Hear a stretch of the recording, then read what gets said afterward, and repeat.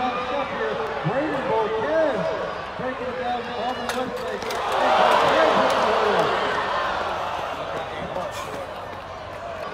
And it down to Harvard Westlake.